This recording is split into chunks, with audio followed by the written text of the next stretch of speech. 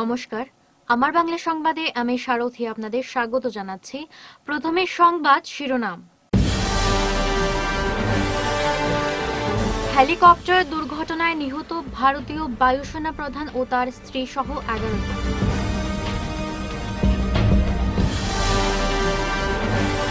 BDF মুখ্য আহ্বায়ক প্রদীপ দত্ত রায়ের মুক্তির দাবিতে সরব আকসা স্মারকপত্র মুখ্যমন্ত্রীকে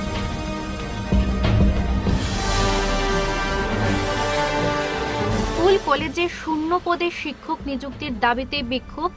এআইডিএসও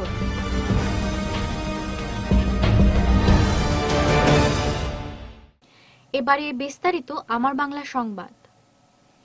সেনার হেলিকপ্টার দুর্ঘটনায় নিহত হলেন দেশের chief defence staff Bipin Rawat বুধবার দুপুরে তামিলনাড়ুতে এই ভয়াবহ হেলিকপ্টার দুর্ঘটনায় তিনি নিহত হন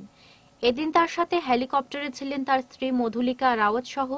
সেনাবাহিনীর এগারো জন কর্মী ও আধিকারিকরা দুর্ঘটনা সংঘটিত হওয়ার পর আহতদের আট কিলোমিটার দূরত্বে থাকা একটি চিকিৎসা কেন্দ্রে নিয়ে যাওয়া হলেও শেষ রক্ষা হয়নি হেলিকপ্টারে চোদ্দ জন যাত্রীর মধ্যে তেরো জন যাত্রীর মৃত্যু নিশ্চিত হয়েছে এই দুর্ঘটনায় গোটা দেশে শোকের ছায়া নেমে আসে এদিকে সেনাবাহিনীর মুখ্য আধিকারিকের মৃত্যুর খবর শুনে প্রতিরক্ষা মন্ত্রী রাজনাথ সিং টুইট যোগে গভীর শোক ব্যক্ত করেন উনিশশো সালের ভাষা আইন বারবার লঙ্ঘনের বিরোধিতা ও তার প্রতিবাদে সরব হওয়া প্রদীপ দত্ত রায়কে মুক্তির দাবি জানিয়ে রাজ্যের মুখ্যমন্ত্রী ডক্টর হিমন্ত বিশ্ব শর্মার উদ্দেশ্যে স্মারকপত্র প্রদান করল আকসা বুধবার সংগঠনের কর্মকর্তারা কাছাড় জেলার জেলাশাসক কার্যালয়ে উপস্থিত হয়ে রাজ্যের মুখ্যমন্ত্রীর কাছে স্মারকপত্র প্রদান করেন পরে সাংবাদিকদের মুখোমুখি হয়ে সংগঠনের মুখ্য উপদেষ্টা রূপম নন্দী পুরকাইস্থ বলেন উনিশশো সালের উনিশে মে তরতাজা এগারো জন ভাষা সংগ্রামের আত্মবলিদানের পর অসমে বাঙালিদের মাতৃভাষাকে সরকারের স্বীকৃতি দেন তৎকালীন স্বরাষ্ট্রমন্ত্রী লাল বাহাদুর শাস্ত্রী কিন্তু ইদানিং অসমে বাংলা ভাষাকে ব্রাত্য রাখতে বারংবার সরকারি হোর্ডিং বিতর্ক সহ বাঙালিদের লক্ষ্য করে বিদ্বেষমূলক মন্তব্য অত্যন্ত উদ্বেগজনক বলে দাবি করেন তিনি ভাষার প্রশ্নে আজকে গোটা আসাম কিছুদিন আগে উত্থাল ছিল হুডিং কাণ্ড নিয়ে গোটা আসামের মানুষ সুচ্ছার হয়েছিলেন আমরা কোনো দিন অসমীয়া ভাষার বিরুদ্ধে নই কিন্তু আমাদের মাতৃভাষা নিজের মাকে মা বলে ডাকার পরিবর্তে অন্য ভাষা চাপিয়ে দেওয়া হবে সেটাও মেনে নেওয়া যায় না রাষ্ট্রদ্রোহিতার তকমা লাগিয়ে প্রদীপ দত্ত রায়কে গরাতবন্দির তীব্র বিরোধিতা জানান তিনি রাজ্যের শান্তি ও সম্প্রতি দৃঢ় করার লক্ষ্যে রাজ্যের মুখ্যমন্ত্রীর হস্তক্ষেপ কামনা করেন তিনি দত্ত রায়কে আজ পর্যন্ত রাষ্ট্রদ্রোহের মামলায় রাষ্ট্রদ্রোহ হিসাবে জেলে আটক করে রাখা হয়েছে আমরা তার বিরুদ্ধে আমরা চাই যেসব ধারা রাষ্ট্রদ্রোহের ধারা তার বিরুদ্ধে আনা হয়েছে আমরা আকশা সেটা মেনে নিতে পারি না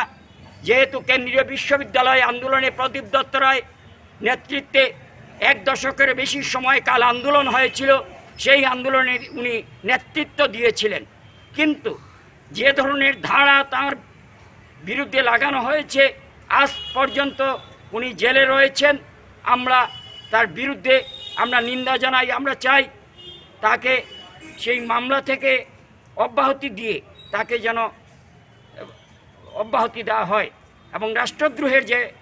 ধারাগুলো আনা হয়েছে তার থেকে তাকে যেন রেহাই দেওয়া হয় এর জন্য আজকে আমরা আসামের মুখ্যমন্ত্রীর কাছে স্মারকলিপি দিয়ে আমরা আমাদের অভিপ্রায়ের কথা জানিয়ে দিয়েছি কাছাড় জেলার বিভিন্ন স্কুল ও কলেজে শূন্য পদে অবিলম্বে শিক্ষক নিয়োগের দাবিতে শিলচর অফিস পাড়া সংলগ্ন বিদ্যালয় সমূহের পরিদর্শক কার্যালয়ের সামনে বিক্ষোভ প্রদর্শন করল এআইডিএসও বুধবার সংগঠনের কাছাড় জেলা কমিটির এক প্রতিনিধি দল অফিস পাড়া স্থিত বিদ্যালয় সমূহের পরিদর্শক কার্যালয়ের সামনে জড়ো হয়ে বিক্ষোভ প্রদর্শন করেন এদিন বিক্ষোভ চলাকালীন সংগঠনের কাছাড় জেলা কমিটির কষাধ্যক্ষ পল্লব ভট্টাচার্য বলেন দীর্ঘদিন ধরে কাছাড় জেলার বিভিন্ন স্কুল কলেজ শূন্যপদে শিক্ষক নিযুক্ত করা হচ্ছে না ফলে পড়ুয়াদের আন্দোলনের পথে নামতে হচ্ছে তিনি এও বলেন যে সরকারে বালক ও বালিকা বিদ্যালয়ে হাতে গোনা কয়েকজন শিক্ষক রয়েছেন বাংলা ইংরাজি অর্থনৈতিক বিষয় সহ বিভিন্ন বিষয়ে শিক্ষক নেই জেলার অধিকাংশ শিক্ষা প্রতিষ্ঠানে এমন অবস্থার দরুন পড়ুয়াদের অনেক সমস্যার সম্মুখীন হতে হচ্ছে দু সালে তৎকালীন শিক্ষামন্ত্রী ও বর্তমান মুখ্যমন্ত্রী শিলচর সফরকালে সংগঠনের পক্ষ থেকে জেলার বিভিন্ন শিক্ষা প্রতিষ্ঠানের শূন্যপদের তালিকা তার কাছে তুলে দেওয়া হয়েছিল তখন তিনি কিছুদিনের মধ্যে শিক্ষা প্রতিষ্ঠানগুলোকে শিক্ষক নিয়োগ করা হবে বলে আশ্বাস প্রদান করলেও প্রতিশ্রুতি প্রদানে ব্যর্থ হন অন্যদিকে কেন্দ্র সরকার দেশের শিক্ষাবিদ বুদ্ধিজীবী সহ অভিভাবক এবং ছাত্র সংগঠনের সাথে আলোচনা না করে চূড়ান্ত শিক্ষা বিরোধী জাতীয় শিক্ষানীতি দু প্রবর্তন করে এবং এই জাতীয় শিক্ষানীতি অসমেও প্রয়োগ করতে সিদ্ধান্ত নেওয়া হয় এতে পড়ুয়ারা আরও সমস্যার মোকাবেলা করতে হবে বলে আশা ব্যক্ত করেন তিনি তাই অতিসত্তর জাতীয় শিক্ষানীতি দু হাজার কুড়ি বাতিল সহ কাছাড় জেলার বিভিন্ন স্কুল কলেজে শূন্য পদ পূরণের দাবি জানান সংগঠন কর্মকর্তারা অন্যথায় সংগঠনের পক্ষ থেকে বৃহত্তর আন্দোলন গড়ে তোলা হবে বলে সাফ জানিয়ে দেওয়া হয় সরকারি বালিকা বিদ্যালয়ে শিক্ষকের অভাবে হয়ে যাওয়া ঘটনার নিরপেক্ষ তদন্ত দাবি করি এবং পাশাপাশি জেলার সমস্ত শিক্ষা প্রতিষ্ঠানে অবিলম্বে শিক্ষক নিয়োগের আমরা দাবি জানাচ্ছি আমরা দেখতে পাচ্ছি সরকার নতুন জাতীয় শিক্ষানীতি আনছেন বলে যেভাবে ঢাকঢুল পিটাচ্ছেন সেই জায়গাতে শিক্ষকের অভাবে ছাত্রদের স্কুল ছেড়ে আন্দোলন করতে হচ্ছে এবং তাতে অপমানিত হতে হচ্ছে তাই আমরা সরকারের কাছে দাবি জানাচ্ছি প্রতিটা স্কুলে সরকার তার কতজন শিক্ষকের অভাব সেই শিক্ষকের অভাব নির্ণয় করে সমস্ত বিভাগে তার বিভাগ অনুযায়ী তার শিক্ষক নিয়োগকর্তার দাবি আমরা ছাত্র সংগঠন এআইটিএসের পক্ষ থেকে জানাচ্ছি বিগত পাঁচ বছর আগে আমরা সরকারের কাছে শিক্ষক নেই যে অভাব কাছাড় জেলার তা আমরা তালিকা তুলে দিয়েছিলাম কিন্তু পাঁচ বছর হয়ে গেল আমরা তার কোনো হেলদোল দেখতে পাইনি তাই আমরা আবারও সরকারের কাছে দাবি জানাচ্ছি যে অবিলম্বে সমস্ত শিক্ষা প্রতিষ্ঠানে শূন্য পদে শিক্ষক নিয়োগ করার জন্য না হলে আমরা বৃহত্তর আন্দোলনের দিকে এগিয়ে যেতে ঋষি অরবিন্দের সার্ধ শতবর্ষ অনুষ্ঠান যথাযোগ্য মর্যাদায় পালন করা হলো করিমগঞ্জ কলেজে ভারতীয় আধ্যাত্মিক জগতের প্রবাদ প্রতিম ব্যক্তিত্ব এবং স্বাধীনতা সংগ্রামী ঋষি অরবিন্দের সার্ধ শতবর্ষ আবির্ভাব তিথি যথাযোগ্য মর্যাদায় পালন করেন কলেজ কর্তৃপক্ষ এ উপলক্ষে বুধবার সকাল এগারোটা নাগাদ করিমগঞ্জ কলেজের প্রমেশচন্দ্র ভট্টাচার্য স্মৃতি প্রেক্ষাগৃহে এক আলোচনা সভার আয়োজন করা হয় সভার শুরুতে ঋষি অরবিন্দের অস্থায়ী প্রতিকৃতিতে মাল্যদান করেন বিশিষ্ট জনেরা পরে প্রদীপ প্রজ্বলন করে ঋষি অরবিন্দের জীবনশৈলী সহ শ্রী অরবিন্দের উত্তরপাড়া ভাষণের আলোকে সনাতন ধর্ম ও তার পঞ্চস্বপ্ন নিয়ে বিস্তারিত আলোচনা করেন উপস্থিত প্রত্যেক বক্তারাই এদিনের আলোচনা সভায় উপস্থিত ছিলেন কলেজের অধ্যক্ষ ডক্টর রামানুজ চক্রবর্তী সহ অন্যান্য অধ্যাপক অধ্যাপিকা এবং ছাত্রছাত্রীরা শ্রী অরবিন্দ পৃথিবীতে এসেছেন পুরাতন ধর্ম বিশ্বাস ও শিক্ষার সঙ্গে প্রতিযোগিতা করে অন্য কোনো ধর্ম আদর্শ প্রচারের জন্য নয় শ্রী অরবিন্দ এসেছেন অতীতকে অতিক্রম করে অতীতকে অতিক্রম করে এক সম্ভাবময় সম্ভাবনাময় সুনিশ্চিত ভবিষ্যতের বাস্তব পথ খুলে দিতে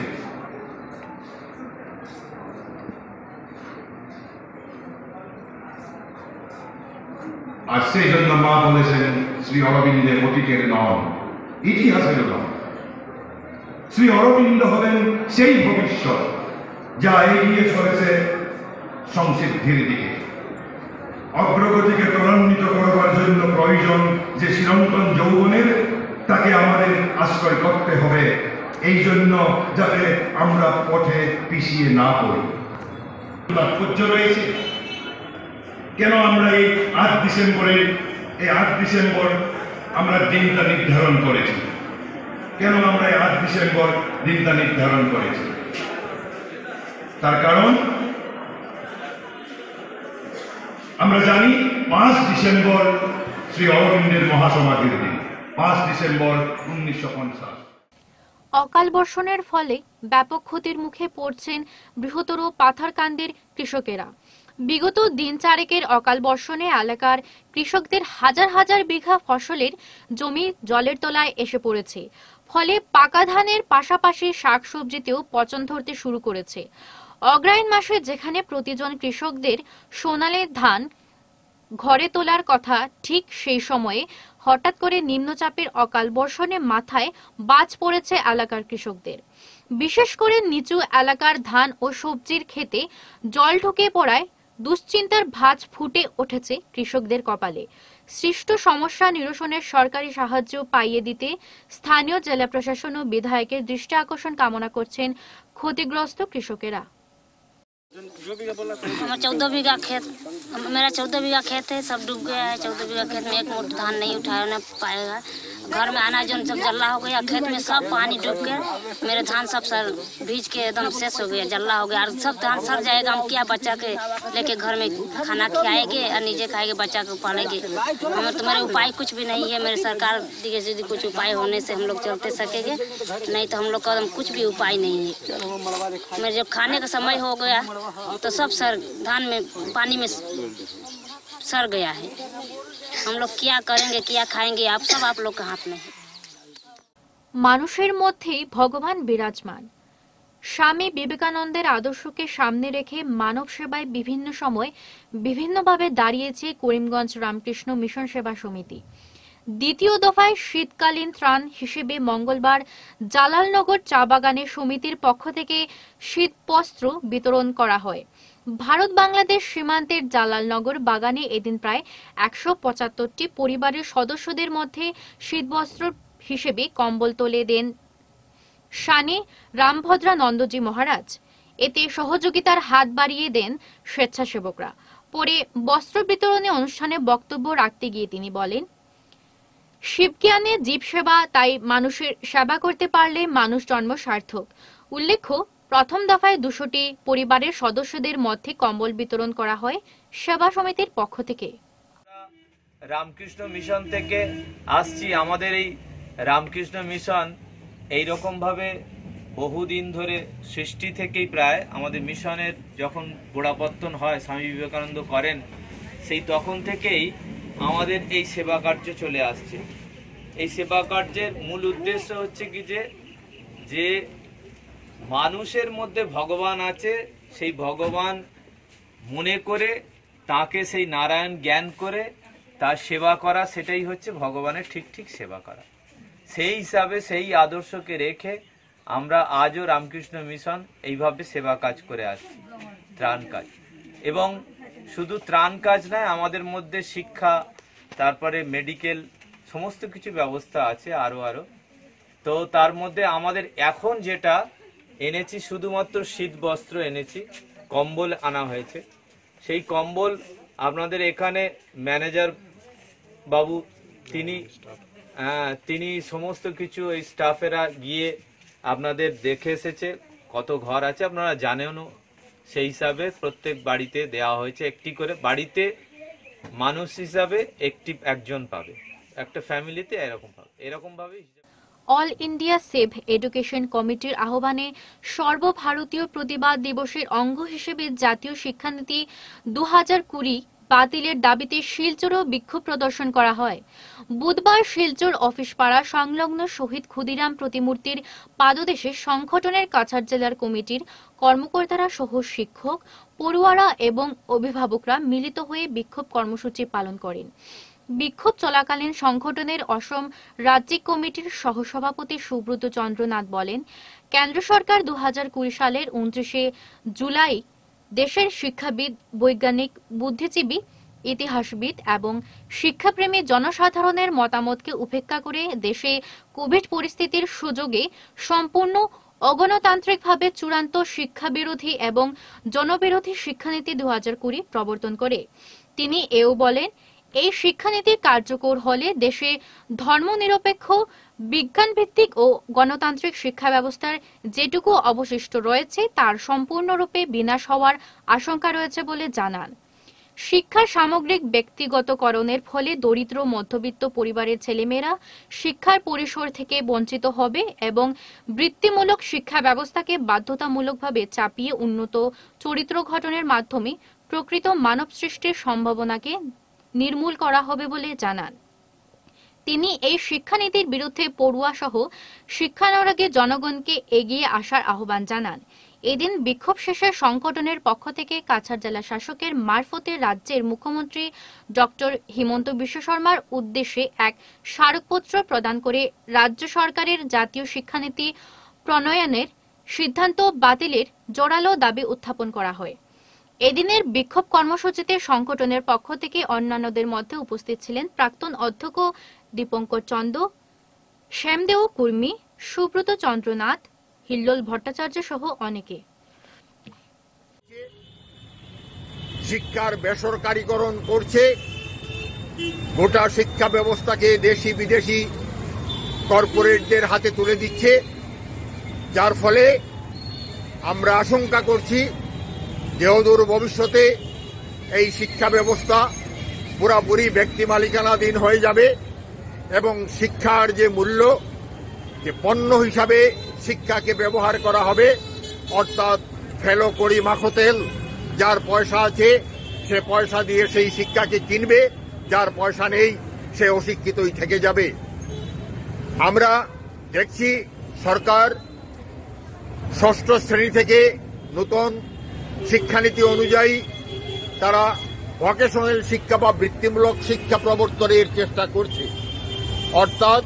ষষ্ঠ শ্রেণী থেকে ছাত্রদের বৃত্তিমূলক শিক্ষা প্রদান করা হবে যেমন কাউকে দর্জি তৈরি করা হবে কাউকে কাঠ মিস্ত্রি তৈরি করা হবে কাউকে রাজমিস্ত্রি তৈরি করা হবে কিন্তু মানুষ তৈরির যে প্রক্রিয়া যেটা শিক্ষার মূল প্রাণসত্তা সেই প্রাণসত্তাটাকে ধ্বংস করে দেওয়া হবে এই পদ্ধতির দ্বারা এবং এই পদ্ধতির দ্বারা সরকার আরেকটা কৌশল অবলম্বন করেছে যে চাকরি বাকরি দেওয়ার দায়িত্ব এখন আর সরকারের থাকবে না শিক্ষা তোমাকে একটা বৃত্তিমূলক শিক্ষা প্রদান করা হবে তারপর তোমাকে দেওয়া হবে তোমার রুগী রুজির ব্যবস্থা তুমি নিজেই করো বুধবার উত্তর ত্রিপুরার পানিসাগর বিএসএফ সেক্টর হেডকোয়ার্টারে আনুষ্ঠানিকভাবে আত্মসমর্পণ করল তিন কুখ্যাত জঙ্গি সংগঠনের সদস্য তবে এদের আরেকজনের নামে পুলিশ খাতায় বেশ কয়েকটি মামলা থাকায় তাকে পরবর্তীতে আইন প্রক্রিয়া হেতু তুলে দেওয়া হয় পুলিশের হাতে বর্তমান সময়ে ত্রিপুরা রাজ্যে খুন সন্ত্রাস অপহরণ ইত্যাদি অপরাধের প্রবণতা অনেকটা কম অথচ বিগত দিনে জঙ্গি কার্যকলাপ রুখতে হিমশিম খেতে হওয়াত প্রশাসনকে পরবর্তীতে সরকারের ফলপ্রসূ আলোচনা ও প্রশাসনিক তৎপরতায় আত্মসমর্পণ করে জীবনের মূল স্রোতে ফিরতে বাধ্য হয় অনেক জঙ্গি সংগঠনের সক্রিয় সদস্যদের সরকারও তাদেরকে প্রতিশ্রুতি মোতাবেক পুনর্বাসন দিয়ে স্বাভাবিক জীবনযাপনের সহায়তায় হাত বাড়িয়ে দিয়েছে এ মর্মে বুধবার আত্মসমর্পণ করা তিন জঙ্গির মধ্যে দুজন এনএলএফটি গোষ্ঠীর বিশ্বমোহন গ্রুপের এবং অপরজন কেওয়াই কে এল জঙ্গি গোষ্ঠীর সদস্য এবং তাদের মধ্যে এনএলএফটির জঙ্গিকে মামলা সংক্রান্ত কারণে ধলাই জেলার মানিকপুর পুলিশের হাতে হস্তান্তর করা হয়েছে পানিসাগরে আত্মসমর্পণকারী জঙ্গিরা হল বিশ্বমোহন গ্রুপের ক্যাডার দেবমোহন ত্রিপুরা ওরুফে ডম্পাই পিতার নাম কুমার ত্রিপুরা এদের দুজনের বাড়ি ওকিরাম বোয়াজা পাড়ায় মানিকপুর থানাধীন মনুরধলাই জেলায় অপরজন বিদ্যানন্দ সিং ওরুফে বোমছা পিতার নাম দীনাচন্দ্র সিং বাড়ি ইম্ফলের পরমপেত মহাকুমার খুইরাই থাংজম লাইখাই পাড়ায় তারা আনুষ্ঠানিকভাবে পানিসাগর স্থিত বিএসএফ সেক্টর হেডকোয়ার্টারে ডিআইজি রাজীব কুমার দোয়ার নিকট আত্মসমর্পণ করে তবে অপর জঙ্গি সিপাই শকু চন্দ্র দেববর্মা ওরুফে সারং পিতার নাম অরুণ কুমার দেববর্মা বাড়ি খোয়াই জেলার मुंगियाकामी थानार अंतर्गत সোনপাড়ায় সে বর্তমানে পুলিশি হেফাজতে রয়েছে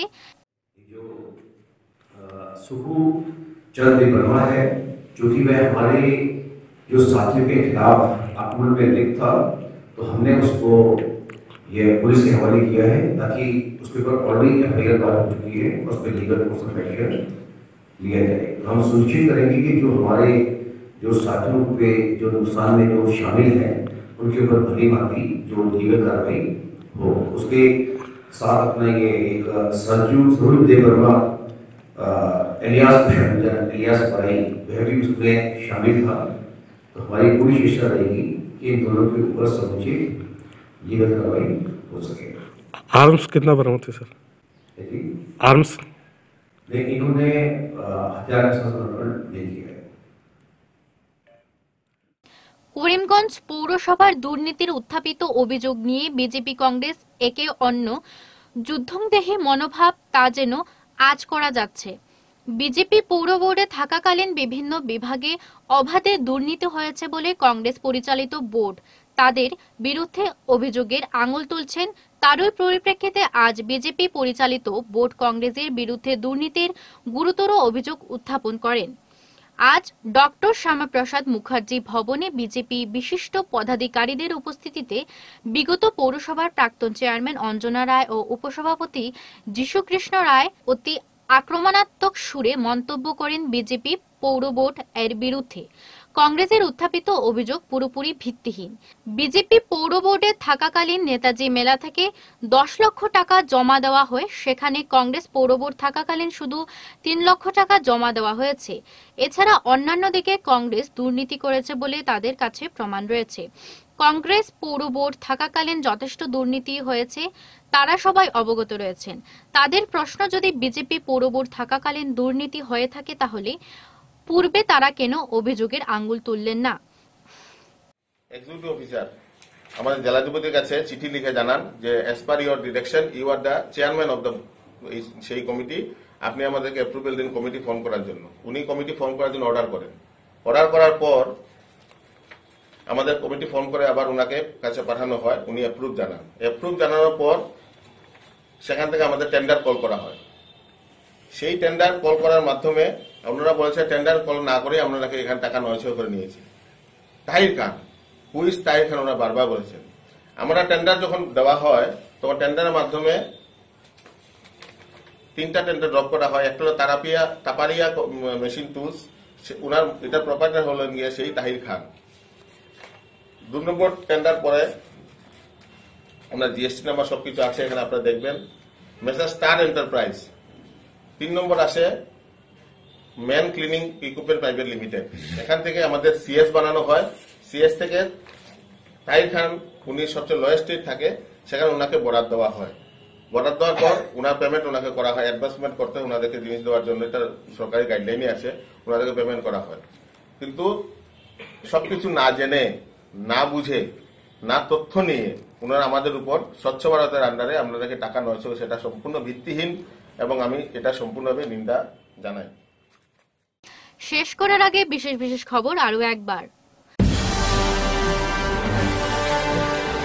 হেলিকপ্টার দুর্ঘটনায় নিহত ভারতীয় বায়ুসেনা প্রধান ও তার স্ত্রী সহ এগারো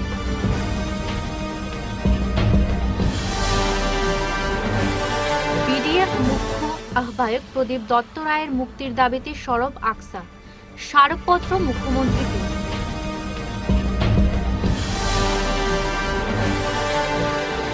স্কুল কলেজে শূন্য পদে শিক্ষক নিযুক্তির দাবিতে বিক্ষোভ এআইডিএসও